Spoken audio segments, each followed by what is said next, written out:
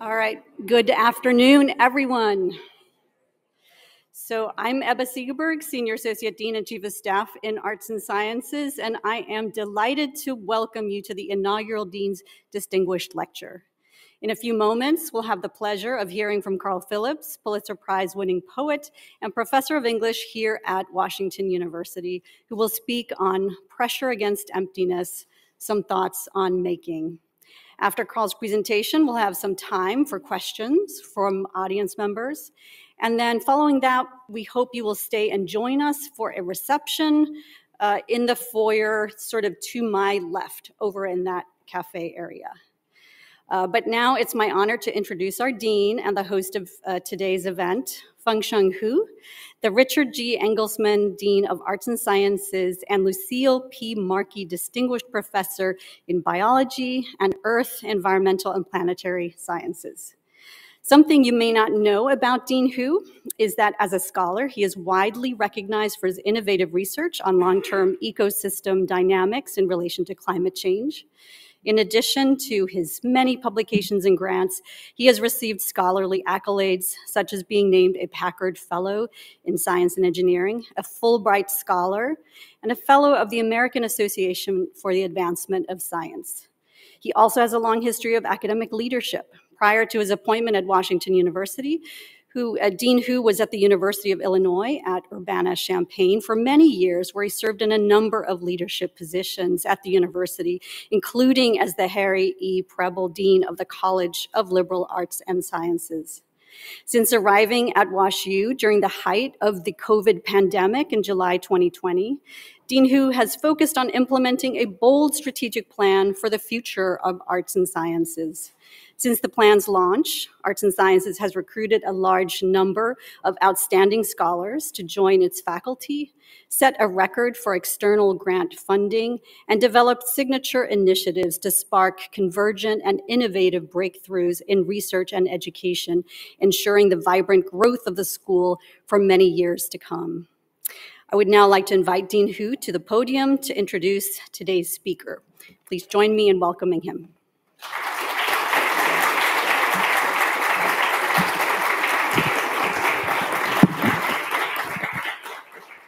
Thank you, Ebba, for the very kind introduction. And good afternoon. Thank you all for joining us for what is sure to be an inspiring presentation today. I am delighted to welcome you to the inaugural Dean's Distinguished Lecture in Arts and Sciences. This lecture series is an opportunity to come together as a campus community to hear from some of our brightest minds in arts and sciences I anticipate this to be the first of several exciting lectures taking place in the coming year as we share the insights and expertise of our accomplished faculty. As many of you know, we are now two years into the decade of arts and sciences, a period of incredible growth that will establish our school as a global model of research, education, and scholarship this undeniable momentum across campus as our faculty, staff, and leaders work together to bring this bold vision to life. A key component of this plan involves bringing our talented faculty into the spotlight to showcase their scholarship, teaching, and public impact. It's fitting then that we start this lecture series with Professor of Creative Writing, Carl Phillips. Carl is a celebrated poet, essayist, and professor whose work has garnered critical acclaim and captivated readers around the world with numerous accolades to his name. He's considered one of the most influential voices in contemporary literature. Here at Washington University, he's held in equally high esteem for his teaching and mentorship. Carl is the author of more than 15 books, including Then the War and Selected Poems 2007 to 2020. This incredible collection was recognized with the Pulitzer Prize in Poetry in 2023 an honor that places Carl among a small handful of WashU faculty to have received the prize. While his Pulitzer is indeed a remarkable honor, Carl has a long history of prize winning poetry. In 1992, his first book, In the Blood, won the Samuel French Morse Poetry Prize and put him on the map as an outstanding newcomer in the field of contemporary poetry. His 2001 collection, The Tether, won the Kingsley Tufts Poetry Award, and 10 years later, Double Shadow received the Los Angeles Times Book Prize. A finalist for both the National Book Award and the National Book Critics Circle Award. Carl's other honors include the Lambda Literary Award and Award in Literature from the American Academy of Arts and Sciences and fellowships from the Guggenheim Foundation and the, Liter uh, the Library of Congress. For six years, Carl also served as Chancellor of the Academy of American Poetry, American Poets. Given the significant, the significant recognition, it might surprise you to learn that as an undergrad at Harvard University, Carl initially wanted to be a veterinarian. what a huge difference there. His career path later evolved to teaching high school Latin, a job that cultivated his love of teaching and allowed him to begin writing poetry. He arrived at Washington University in 1993 for what was slated to be a three year teaching job. Fortunately for all of us, his time in the Department of English was vastly exceeded to 30 years. So he's been at WashU for 30 years. He has served as a professor and director of WashU's writing program, roles that have allowed him to support countless students and professionals setting out on their own paths to poetry. I encourage you to learn more about Carl's inspiring journey to writing and teaching in our latest issue of Ampersand magazine. I was personally moved to read his reflections on the power of poetry and the ways his writing and mentorship have influenced so many around him. I know his presentation today will be equally captivating. So now please join me in welcoming Professor Carl Phillips.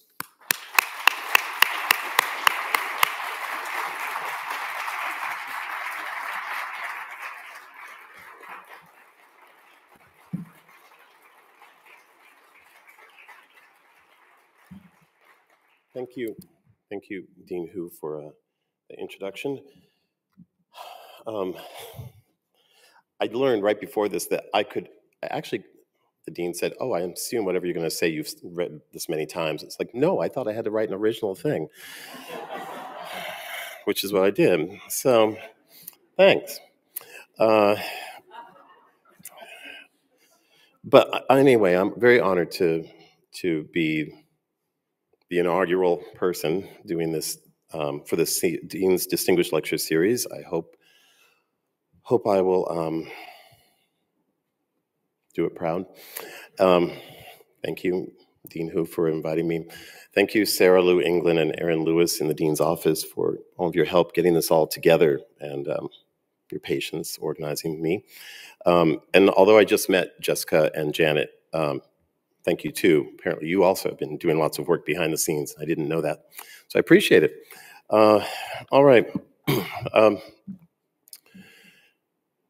is this fine? This mic thing? Okay. I guess we're going to get started.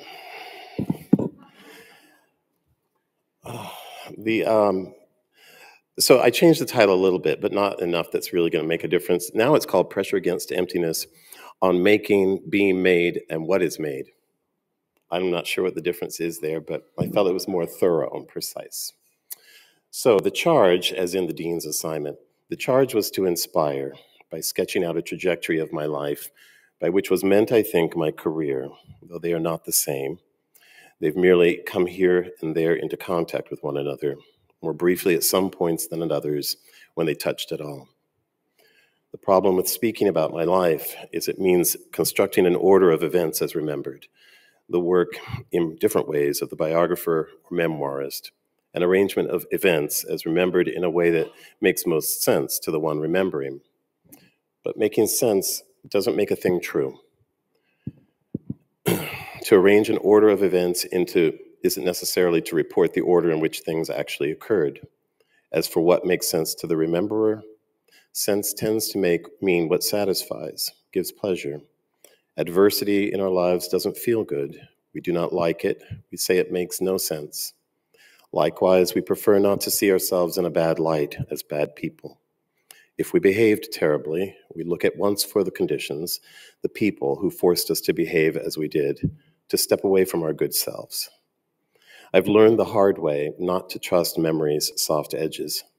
As the poet Kathleen Graber puts it in her poetic sequence, The Letters, a mnemonic for forgetting, what has happened unhappens, and we rewrite it we assemble that version we think we can bear. Then there's the problem of speaking about career. For me, career may contain the accidental, the random accident of luck is always part of it, but career is mostly intentional. Most of the students I've taught in an MFA program have had the intention of being not just poets, but poets with published books, books they hope will win them the recognition in the form of prizes, reviews, that will secure them some stability, money, a loyal publisher, a job that will afford them large swaths of time in which to write more books. I get that. And there's nothing especially wrong with it. But I never intended to be a poet as a career. I didn't know that was possible. I didn't have the luxury of knowing it, since when I did start writing poems as an adult, I felt I was writing quite literally to survive. More than once, I've tried explaining this to large groups of people I'll never know and to friends I do know. No one ever believes me. I love how closely the Latin word behind the word career, carrus, a wooden cart with wheels, resembles the Latin for chariot, currus. A chariot drawn by horses provided swift movement in combat initially and then for daily transportation, usually by royalty or at least the wealthy. It's where we get the word current, as in a river's current, or current events, things propulsively ongoing. In hindsight, this is what a career can look like inevitability, even destiny, one chapter leading naturally to the next one until to ask, How did I get here? seems absurd or naive or like false modesty. But career comes from carrus, a modest cart, reliably sturdy for carrying goods rather than people. A cart is less about combat or idle privilege than about daily utility. There's no glamour or drama to it. It's more like most lives. A career is more how we carried ourselves incidentally across and through. A career in poetry, as in any art, means a life spent making making objects, yes, but also making as in making a way forward within irresolvable conundrum. It's an urge to understand, if not resolve, to make a space of rest, of apparent knowing, within a larger restlessness of living consciously as a human being with a body in time. Maybe each poem is its own little cart, carrying its particular necessary load of apparent knowing across what ultimately can't be known, not entirely. I love how metaphor in modern Greek means truck. Sometimes I think all I've made, all the poems, all the decisions and intentions, good and bad, amount to a four pointed throwing star, an X of love, death, making, and emptiness. A star is not a compass. What use can a compass be this late, and as if not being lost had ever been the point anyway? A star is not a compass, but in my darkest nights, it has given me a light to see by. No ordinary star, a throwing star. Here, catch. It says drink water, and I was right, I would want to drink water. It was a guess, but. All right. The title of this talk is entirely indebted to the title of Linda Gregg's poem. Here's her poem, Pressure Against Emptiness. Did it magically appear? Yes. Thank you, Aaron. I was told all I had to do was use the clicker or this, do something on the screen, and I said, I don't, I don't trust myself. So someone is clicking for me. Apollo's left fist covers his heart. His eyes are holes. He used to shine, but time has darkened him. His bronze thighs are covered with words. He is waist deep in language. I see wheat, lost teacher, tree darkness, goat, mountain, river, tree in a field. Was he merged with life? Was he ripeness holding still? Did he say, This is my body, eat me? Was he strength made out of pity? He has the pierced, blank look of love, knowing we die as flowers do, and it makes a difference, a pressure against emptiness. Did they know him? Did the shining change their bones? At night, they knew the grass by touch. When day began to end, they heard owls away in the fields and within their bodies. Apollo's left fist covers his heart. The fist of potential violence or gift, both maybe. Heart, as in love, in poetic tradition at least, but also as in no life without one, no human life. Apollo was a god. Did he have a heart? Can a question like that matter if we believe in gods, or we pretend we do until it's true? Within that space of believability, I call the poem's force field. Is he covering his heart to shield it? Is the pressure of fist on heart an example of the pressure meant in the poem's title? And the heart and emptiness, the way his eyes are, reduced to holes, even as the bronze of, it, of his thighs has been reduced to language, or overwhelmed by it, for he is waist deep in language. Am I not myself waist deep in language, even as I write this? For me, Gregg's poem speaks to the idea of making art and of what becomes of the made thing once the maker's gone. Here, the sculpture of Apollo becomes the resonant catalyst, not for resolution, but for questions and speculation.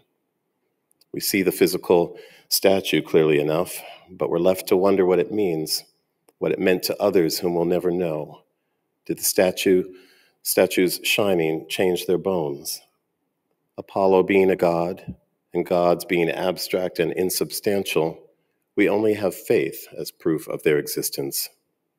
But to make a statue depicting our, our idea of what, what we can't see might look like if we could see it is to resist the emptiness of abstraction, to offer pressure against it, which is to say, art itself is a pressure against emptiness, as in, as is our impulse to make art.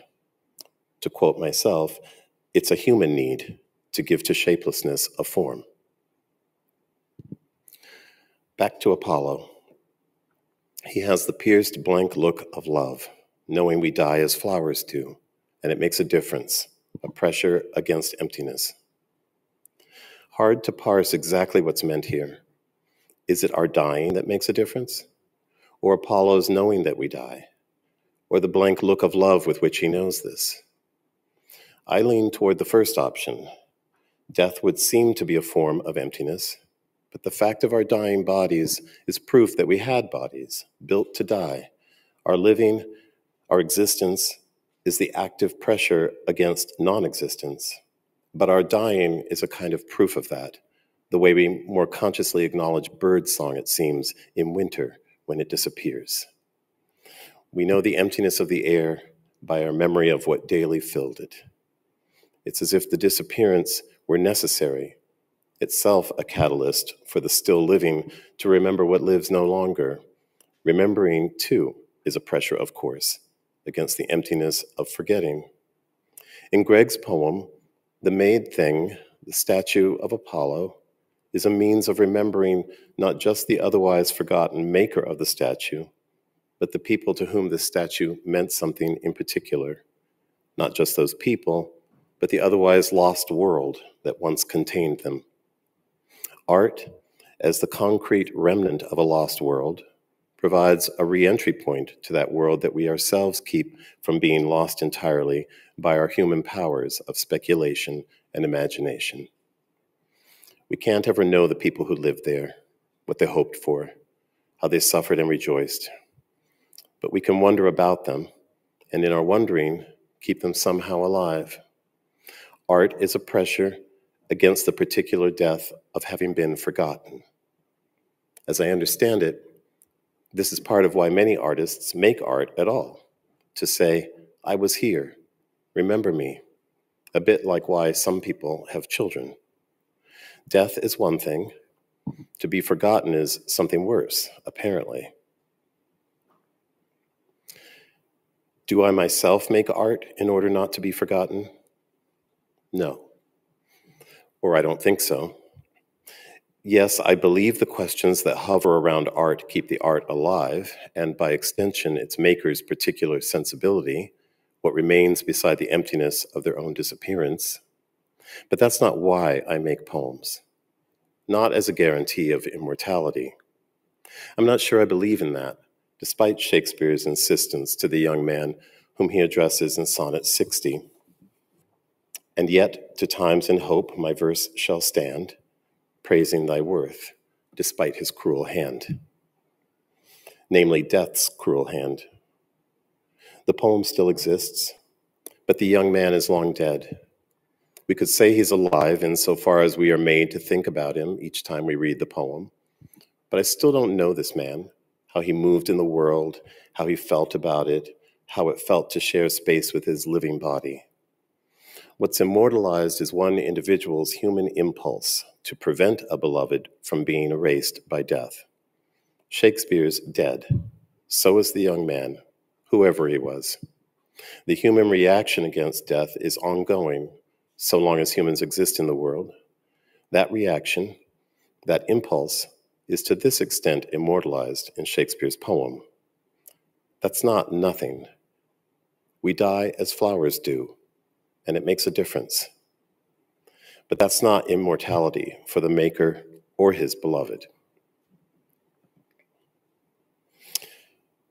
Usually, I tell people that I write because I can't not write.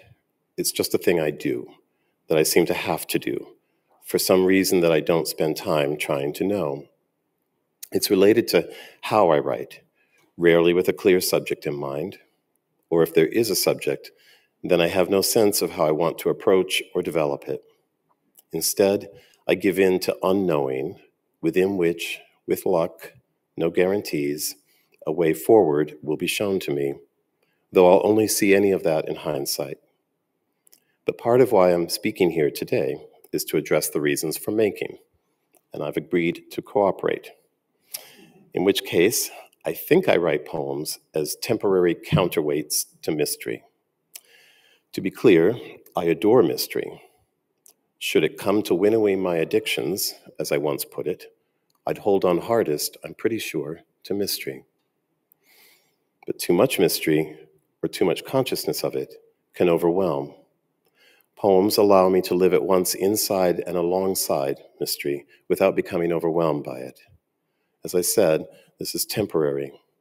This temporariness, I think, is why I write the next poem. Sometimes I think it's like having rescued a damaged dog, now figuring a way to make a life with it, knowing some part of the dog will always, to some degree, remain feral. Sometimes I'm able to recognize, I'm briefly willing to, that the feral dog has always been myself, still is. I used to put it another way.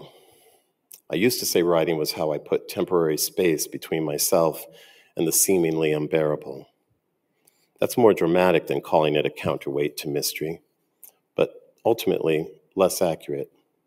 Or it was accurate, but only at the start, when I began writing poems I could call my own, some of which would become my first book, though I couldn't have known that, never having thought to write a book. I'd written poems before in college, but they were really just imitations of Sylvia Plath's poems, except I wasn't Sylvia Plath. Her life wasn't mine. I was just trying to inhabit one manifestation of her life, her art. Art and life aren't the same. I didn't understand my own life enough yet to be able to write from it. Some part of me seems to have known this. I stopped writing. I did not miss it. The same week that I received my teaching degree, ready to begin my career as a high school Latin teacher, I got married to my best friend from college, a woman whom I genuinely loved, based on everything I knew then of love and its possibilities, and not understanding that I was gay. Yes, there had been that man in college, but but that wasn't love. That was stop. Periodically, maybe once every four or five months, in those early years of marriage, I'd be possessed, that's how I put it, by an urge, a sexual one. And to deal with it, I'd drive out of town to find a gay porn magazine, which I'd immediately after get rid of in part so there'd be no evidence, and in part because afterwards I was so repulsed by my own sexual attraction to other men, so repulsed that I easily suppressed again the urge itself, and for a few months more, my life returned to normal. I was almost 30, a loyal husband, a so called pillar of my community. A loyal husband because masturbation to a gay porn magazine didn't count, did it? If it didn't last, if it was just sex, and for the moment, if it wasn't love. Looking back, I see the glimmers right then and there of moral flexibility that would come to define my early poems, and of the moral inquiry that still characterizes my work today. But back then, it was just a way to justify what I didn't want to understand about myself, what I wasn't yet ready or able to understand at the time. For no apparent reason, I started writing again. I wrote poems that, for the first time, both surprised and frightened me, which is to say, I began writing real poems, my own. Here's one from that time for Chiron. There it is. It's magic. Nothing expected hurts, as it otherwise should. So, no, you did not hurt, Professor, even that first time. I had dreamed already the green line of subway before your directions, your shadow, a tall drink in a room of skyline rising off glass surfaces, everywhere glass. That much I saw before seeing the incidental angle to your bed, traveling wet with clues among well suited men on the train in daylight, showering you into the loose tiles of the dormitory bathroom. All as expected, half note of surprise to every return, my dim passing away from you, the clouds I watch now in June, broad years from you, waiting for your shape to drop on a life I make for myself. I like to think of me moving across that part of your life where you somewhere lie remembering, though this is the one thing I never expect, what still bewilders each time you wake to it, lifting yourself to different faces. I mentioned earlier a man from college. I met him when working summers as a shuttle bus driver for biologists and their families at the Marine Biological Laboratories in Woods Hole, Massachusetts. He was a biologist who taught at Harvard, where I was an undergraduate, a scholarship student who'd just moved up from cleaning dormitory toilets to managing the front desk at the Harvard Faculty Club. He suggested that I visit him at his condo sometime. I kept the address and number all summer, and maybe a semester into the new year, I gave in to the urge to call him. I'm pretty sure I'd been drinking already when I took the subway over. And when I arrived, I was offered more to drink, plus marijuana, which I was fairly new to. Eventually, I passed out, I guess. When I woke, I was being raped though I didn't call it that, nor did I try to make it stop. Rod Stewart was playing. I woke again in the man's arms. I left in the morning without showering, though once I returned to my dorm, I thought I'd never stop showering. I'd never be clean of what had happened, what I'd let happen, what I'd somehow known would happen and wanted. Is that why I got married? As a way to clean myself? To free myself from the possibility that I wanted to have sex with men? Oh, I hope not. I don't want to believe that. I won't believe it. I'd forgotten all about that incident with the professor when I wrote for Chiron. Not forgotten, apparently, compartmentalized. And in writing the poem, I made a new compartment for the incident, one that instead of keeping the incident hidden, put it front and center for me to see, now that I was ready to see it. Here was a poem that, as I said earlier, surprised and frightened me. The surprise of memory, the fear of recognition, of admission that I'd not been completely naive, that I'd known what I wanted, that I'd returned for more, at least twice that I can remember, and that even now, six or so years into my marriage, I was wondering if I'd at least left an impression on this man's memory. The poem feels nostalgic. There's a sense of longing to it, even as the speaker also has a vaguely sinister, cool detachment from the whole business of an older professor drugging and raping an undergraduate too young and inexperienced to understand consent, power dynamics, or his own identity in general, let alone his sexual identity. Maybe most disturbing to me about this poem is the title I gave it. Chiron was the centaur, half man, half horse, who served as teacher to the Greek hero Achilles the hero whose grief over the death of his friend Patroclus has led many classical scholars to suggest a homoerotic relationship between the two heroes. Chiron then is associated both with the Greek heroic tradition and more distantly, the homoerotic. Centaurs are also notorious in mythology for their lustiness. The human part of the centaur, the head and chest, understands self control and reason, but the horse part, from the waist down is wild, pure instinct.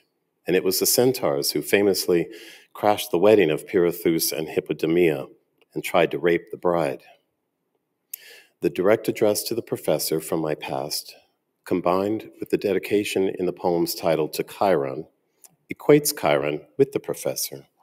And in doing so, it equates the latter with classical tradition, which has a way of elevating the ordinary by dipping it in the amber of timelessness, gravitas, and artistic excellence. It has a glamorizing effect that can distract from the truth, the way art itself can. What is mythology, if not a pressure against emptiness, the art of story making pitched against the otherwise inexplicable mystery of human, which is finally animal, behavior, including violence and erotic desire? I say art can distract from the truth by not, by not representing a thing as it actually is.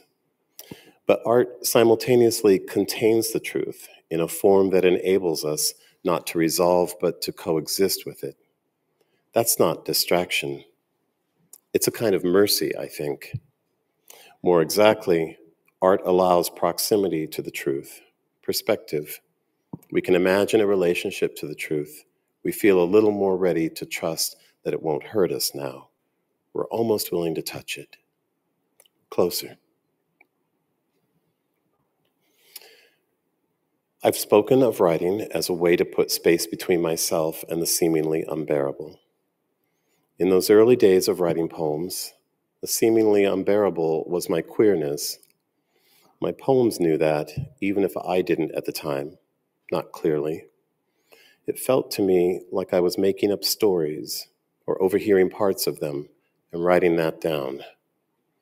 But with each poem, I realize now I was constructing a world within which and a language with which a crucial part of myself could find voice and make space for itself, a space unavailable in my more immediate world or in the language spoken there.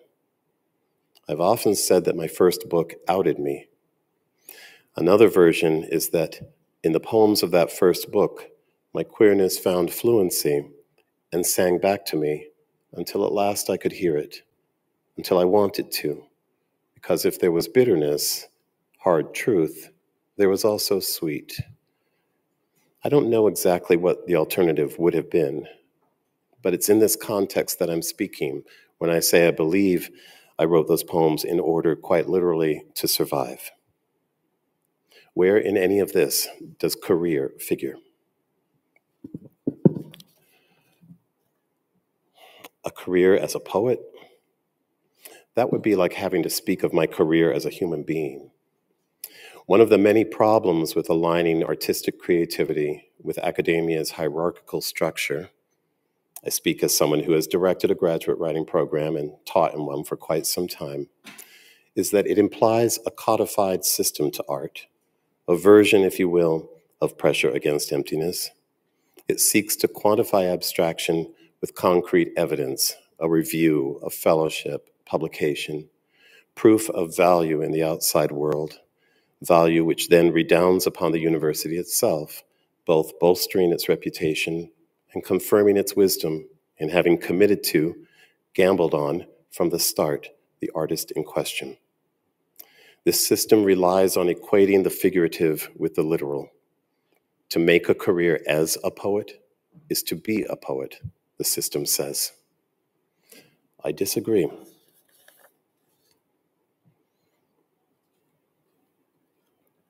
Here's a poem I wrote one night while meaning to write more of this talk. It hasn't got a title. That'll take a while, but I'm pretty sure it's a poem. I say it is, and the poem itself hasn't yet said otherwise.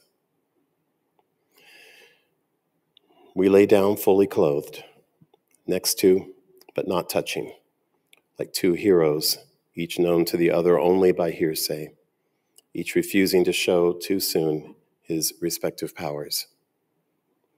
I liked that. I liked thinking in a world where almost nothing anymore stays hidden, that secrets still had their place to be defended should it come to that. Did you know, he said, that the first fireworks were likely the small fires people lit, not for warmth for once, but for distraction, to catch, then sustain the god's attention while wishing, let this befall, or by some miracle become unbefallen? There's this lullaby I was taught to sing long ago when frightened. Like waves, the context keeps changing. The suffering is the same, like the ocean, is how it goes. I still sing it sometimes in my head. No, I said, turning to him, not touching him not needing to. No, I've never known that till now. The people here are apparent strangers getting to know one another. There's an erotic charge, it seems, between them, reinforced by how the erotic is notably avoided. Twice we're told they didn't touch, and from the start that they're fully clothed, a kind of suggesting that what isn't happening by implying what might. One brings up an origin story about fireworks. Does the other know about this? The other remembers a lullaby he learned as a spell against fear before answering that he didn't know the fireworks story, but now he does. I often tell my students that most lyric poems, when broken down to their bare narratives, aren't all that interesting and or new, and this poem is no exception. What matters more for me is not the information laid out in the poem, what we might call the poem's solidity, but the questions that emerge, the resonance in between and around those blocks of information that we call stanzas. Is it true, this story about the fireworks? I'm pretty sure I made it up while waking to fireworks this most recent New Year's. I'd gone to bed early New Year's Eve, and when the fireworks began, this story came to mind, and just before falling asleep again, I thought to write it down, knowing I'd lose it otherwise by morning. I've since tried to track down the story, thinking I might have read it somewhere else before, but I don't think so. I made it up, which doesn't make it true, but it's not implausible. Does that count as truth in the poem? What about the lullaby? That was originally a handful of lines that I wanted to believe was a poem, written in response to various situations in different parts of the world last year and now the Congo, Palestine, Ukraine. Was this handful of words enough for a poem? I kept asking, and my having to ask meant the answer was no. What made me repackage them, though, as a lullaby in this very different poem? And what lullabies include words like context and suffering? An adult lullaby, maybe, yet we're told it was learned long ago. Until now, our heroes have only known each other by hearsay. By the poem's end, one man knows something because another man has told it to him. Hearsay. The information may or may not be true. In which case, what is meant by knowing? What is meant by story? Can a lullaby be story? Can the reverse be true? What is meant by true? And what's the relationship between the two heroes? How did they get here and why? When the one says at the end that he's never known that till now, it seems he refers to the story he's just been told. But could he also mean he's never known what it's like not to have to touch a stranger? not touching him, not needing to. If art is a made form of pressure against emptiness, of concreteness against abstraction, of orientation in the form of pattern, in this case, patterned language, as counterweight to the disorientation of mystery and its languagelessness, if a poem is a momentary stay against confusion, as Frost has put it, then what seems to happen in our putting to rest, even briefly, our empirical restlessness, our quest to know, to penetrate conundrum, is that further questions begin emerging, further emptinesses. It's as if, in pinning down mystery, or at least thinking we have, we've also made a hole in it so that a little leaks out. We've held mystery in place, we haven't stopped it from breathing. That's a good thing. The trouble with most poems, in my experience, is that if they breathe at all, they soon stop breathing. We human beings are the ones who must each eventually stop breathing. Not the mystery for which we have no better words, it seems, than emptiness, open endedness, conundrum. Little firework that a poem can be small fire made of kindling thoughts, the mind's driftwood, that our small personal light might catch the attention of whom? Those gods whom the ancients believed in departed long ago from the field of belief. Just the night sky, and beneath it, just ourselves, little gods of making, making against our inevitable unmaking, to each a separate fire for company, a flame to distract ourselves with, if no one else, warmth against the threat of cold, of loneliness. We may well be the last gods left. When the emperor in ancient Rome had returned victorious from war or battle, a triumph was held, the equivalent, more or less, of our modern victory lap, in a chariot through the streets of Rome. Auriga is the Latin word for the chariot's driver, whose other task was to routinely whisper two phrases in the victor's ear Memento mori, remember you're mortal, and memento homo, remember you're a human being, lest the victor lose perspective and become too reckless with his power. Like that driver, my partner now and then reminds me that despite the earmarks of achievement available in the writing life, publication, prizes, etc., no one is special, myself included. And I agree entirely. There is no best, despite all the anthologies with that word attached to them. So much is random, almost everything including the randomness of where and when we're born and to whom, and the opportunities or lack of them that have, have everything to do with place and timing. Talent is everywhere and arbitrary, and much of it will never get noticed. Luck is a real thing. Maybe more importantly, so is kindness. When Carrie Saunders, the black woman who was also head of guidance at my high school, cornered me in the hall in senior year and demanded to know if I was applying to Harvard. When I told her no, I'd heard of Harvard, but I'd assumed I couldn't get in, and that if I did, my parents couldn't afford it. They hadn't gone to college themselves. We knew nothing about scholarships. When she dragged me then and there to my own guidance counselor and demanded to know why he hadn't insisted on my applying, when she personally saw to it that I did apply, she was doing her job on one hand but she didn't have to notice me. She didn't have to be committed to seeking out minority talent. She believed in me. She was kind, as was the classics professor at Harvard who, when I said I was unsure what to do after graduation, suggested I make a good high school teacher, something I'd never considered, being terrified of public speaking and recommended a then new MAT program at the University of Massachusetts that specifically trained and certified people to teach Latin in public high schools. One day, while teaching my beginning Latin class, I learned that a poet, Martin Espada, would be visiting the school for the day, and he offered a mini workshop after school for any interested teachers. I'd just begun writing again. I had no idea what a workshop was, but I signed up Martín had us write for 20 minutes, then share what we'd written. At the end of the session, he pulled me aside and said I seemed to be an actual poet. Had I thought to apply for a state grant? No, I'd never heard of that. Martín told me how to apply. He didn't have to.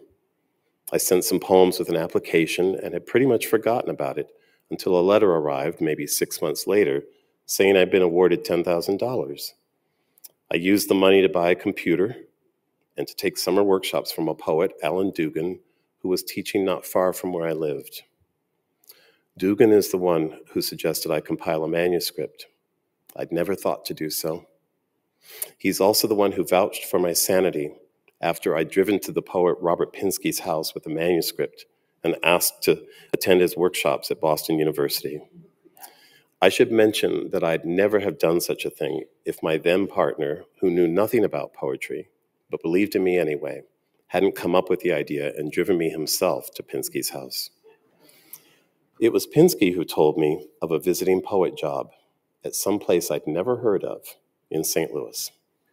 It would only be for three years, I thought. Why not try?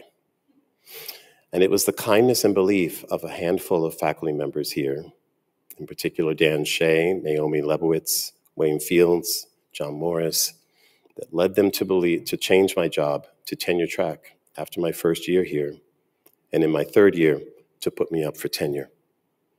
That's almost 30 years ago now, 20 books ago, many accolades, and many more students ago. No one is special. Most people deserve kindness. Many never receive it. I try to remind myself about this each day and to act accordingly. I woke this morning thinking of that poem of mine that I shared earlier, the one with the lullaby, the fireworks story, the two men not touching while lying beside each other. I'm not sure yet, but I'm thinking I've got a title finally. I think I'll call it Gratitude. Thank you.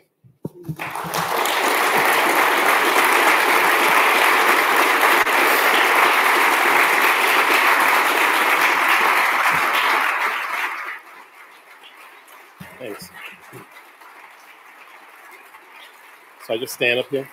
Okay. So I'm supposed to stand here and, and you're supposed to ask questions or something? Or you don't have to. We could just drink wine, whatever.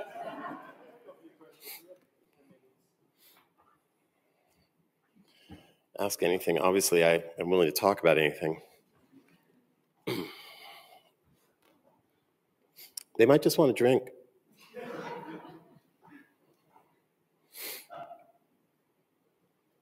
I'm going to escape. Oh, I haven't escaped. Yes. Hello. Thanks. And thank you, and thank you for both your, oh, thank you. Thank you for your- both your candor and, um, and candidly for your vulnerability too, because I think to, um, to write and to share in the way that um, you have here um, takes an extraordinary amount of that as well. And so I, uh, the question I had really was about the, the start of the talk, when you started talking about sense making. hmm Um, and I wonder how you think about um, sense making against, or do you think about sense making against the backdrop of an imagined audience? Um, an imagined audience full of people with certain societal ideological scripts that um, read as normative. Mm. Um, how much of that um, gets figured into that process of sense making and what's um, what it's possible to say, right?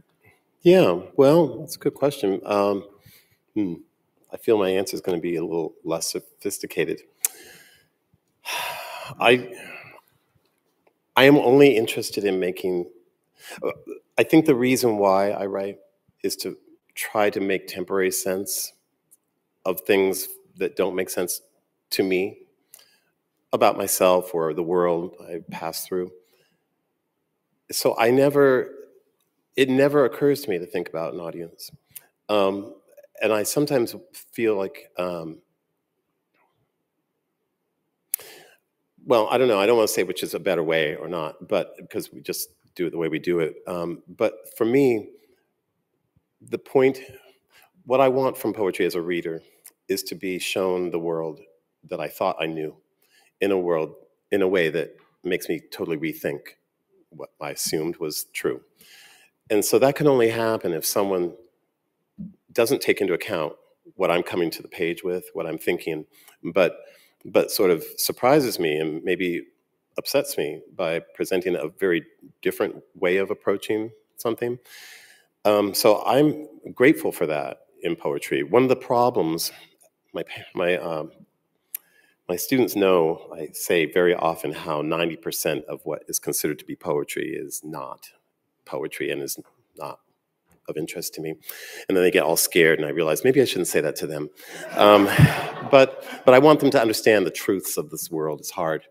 Um, but the reason why most poetry is dissatisfying to me is because it merely shows me what I already know. And in nothing, it doesn't surprise me with anything weird, strange, a different approach. And so I question, I always think, why did someone feel they had to write this? It's simply transcribing life as we already understand it. But for me, and here I'm quoting a poet, Ellen Bryant Voigt, she talked a lot about how um, poetry is not about the transcription of experience, but the transformation of it. And so I'm interested in that. I want, I want that as a reader to be transformed. And so in my own poems, I'm really just trying to wrestle with things the way I see them. And I'm, I wasn't aware when I first started out, I didn't understand why people reacted strangely in audiences when I read. They, some would leave in anger, some thought I was shocking and, I don't know, problematic. Um, because I thought, doesn't everyone think about this? Doesn't everyone talk about sex? Doesn't everyone talk about sex in this way? Apparently not. And apparently they don't like to, or they're afraid or something. And but and if I thought ahead about that, I wouldn't have written the poems. Maybe I think it would have held me back. It seems like bold, vote, like people always say, Carl, you're brave. I'm not. I'm I'm simply like trapped in my own head, and it never occurs to me that anyone thinks differently. So there's the good side is like I guess maybe it, I say something that's different, but but then I seem to shock people a lot, and I don't mean to. That's why I stay home because I know when I leave the house, all hell breaks loose. Sorry, that was a rambling answer to the question, but I got there. Hmm. Yes, hello. Yes. What I'm reading now? Hmm. I just read, I said to my partner last night, I think I've read the best novel I've read in decades. And it's a first novel by a woman named Rosalind Brown called Practice. that has just come out in England. It's not out here yet, and I think in a few months it will be. Which, strangely enough, is English professors will like this. It's 200 pages of this undergraduate woman at Oxford trying to write her paper on Shakespeare's sonnets. And everything that happens in the course of that day, and each chapter is like one page. And and it seems like how could this be interesting? But um, but it's fascinating. And you don't have to know the sonnets, but if you do, it's fantastic. And um, and if you're like me, where you live with the sonnets and read them like practically every day, then it's amazing because this is what this this woman does, and half her thoughts are Shakespeare's thoughts or quotes from Shakespeare. So that was the most recent one, and um, yes, and then I've just started a novel just this morning by um, someone who's here in the audience, um, Rambo. Um, sorry, I just met you. What? What is your name? Esther. Esther, yes. Sorry. We just met the other day. And then I was inspired. and I went and Googled you. And then I heard about this book. And then I saw that it was in the Fitzcarraldo editions, which I'm addicted to. So it was a, so those are that's what I'm reading most recently. Looking forward to it. Yes. Hi.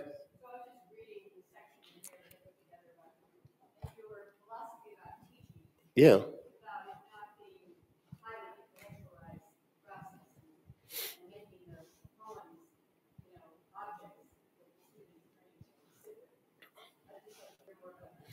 Oh, I was just trying to think, what did I say? Um, but that's what I said. I mean, it sounds like something I would say. I'm, I'm pretty. Oh, yeah, that. Yeah. Right.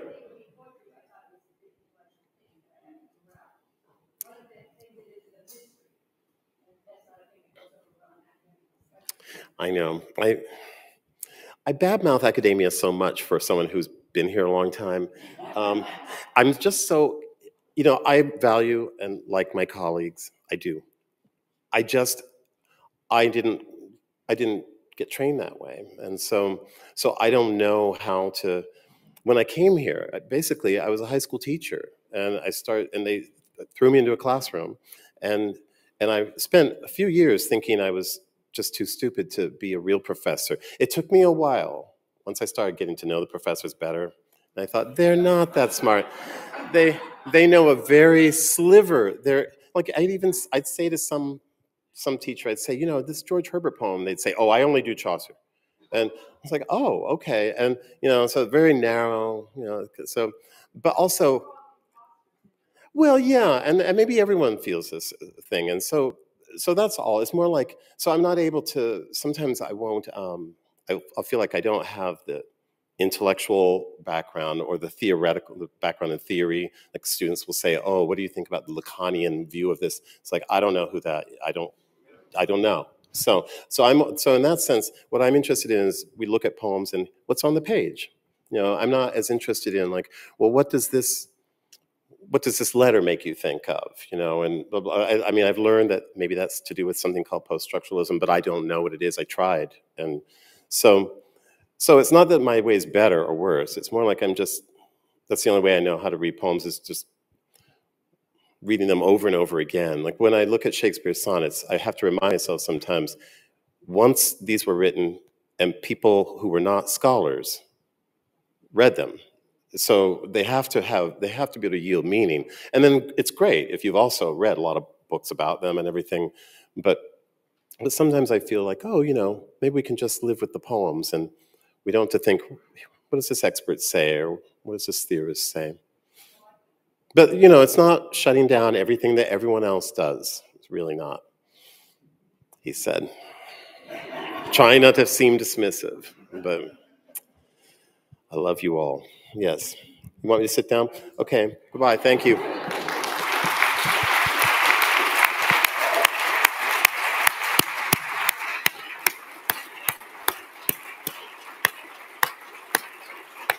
So Thank you, thank you so much, Carl, for this deep, thought-provoking, poetic, insightful. I wish I could write a poem about presentation, your presentation. So there's a reception out there. Please join us for the reception.